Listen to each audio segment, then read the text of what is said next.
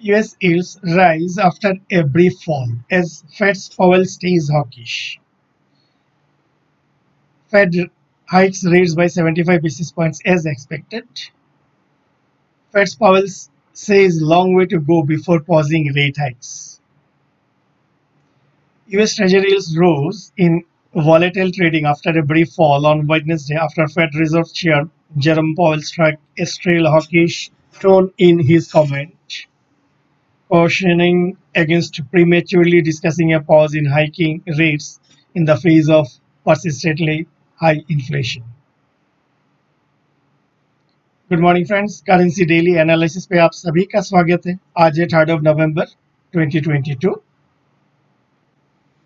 Before yesterday's FOMC rate decisions, market participants are expecting a lesser rate hikes from December policy onwards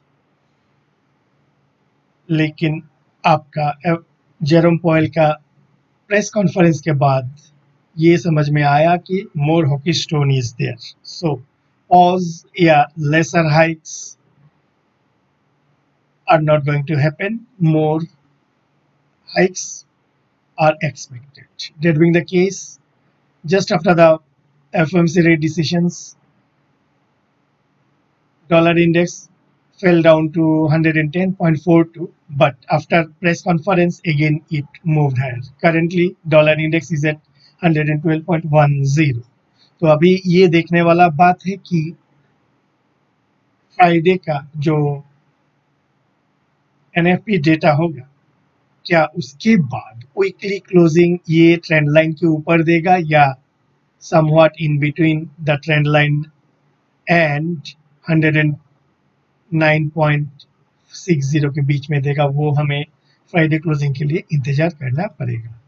dollar rupee अभी 82.90 है।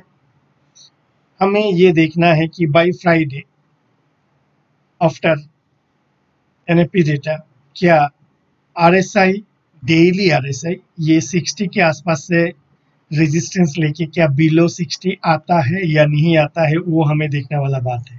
अगर आता है तो रूपी थोड़ा सॉफ्टनेस की तरफ़ जाएगा। Otherwise once again it will enter into a choppy volatile movement dollar CNH अभी है 7.3350 it's a cause of concern, as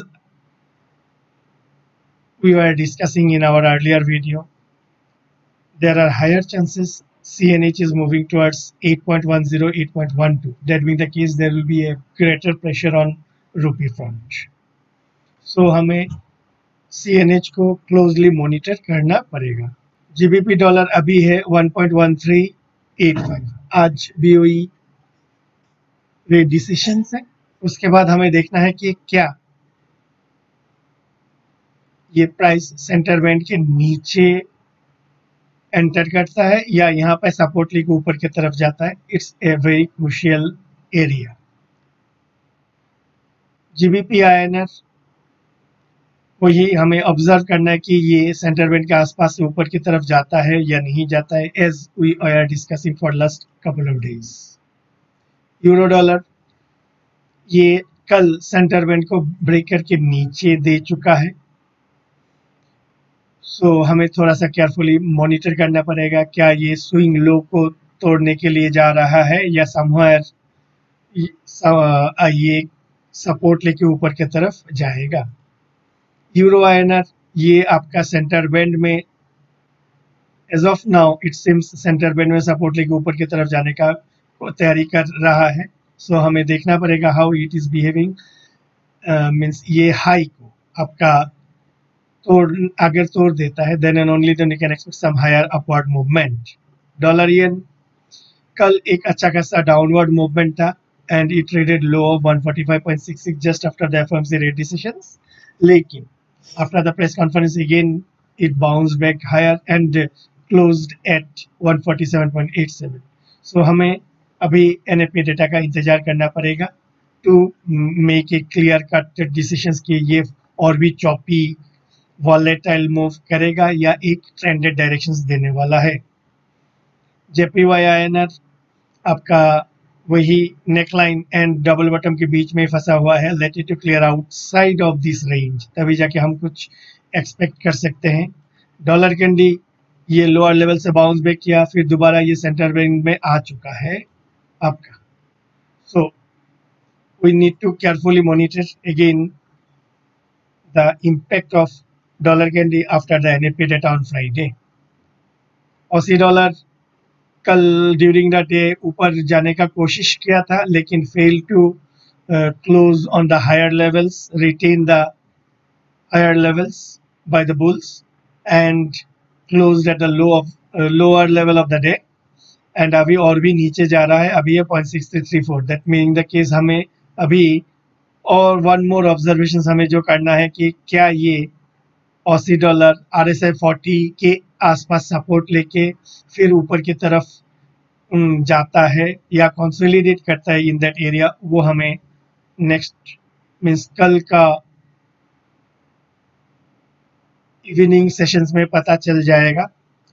UK oil कल और परसों काफ़ी स्ट्रांग हुआ है because of the tension between Saudi Arabia and Iran तो हमें इसको और भी थोड़ा क्लोजली मॉनिटर करना पड़ेगा।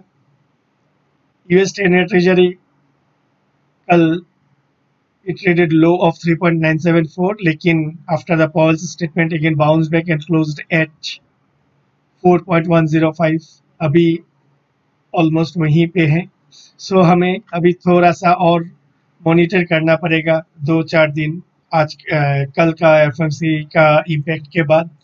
प्राइस किधर करवट लेता है उसको हमें क्लोजली मॉनिटर करना है। तो करेंसी डेली एनालिसिस अभी के लिए इतना ही।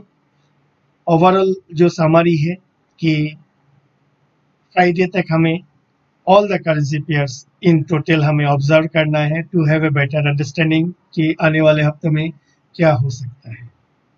सो so, आप सभी को धन्यवाद फॉर वाचिंग दिस एनालिसिस आप लोगों को ये प्रेजेंटेशन अच्छा लगा लगा होगा तो लाइक कीजिए कमेंट कीजिए एंड ऑल्सो अपने फ्रेंड सर्कल में शेयर कीजिए।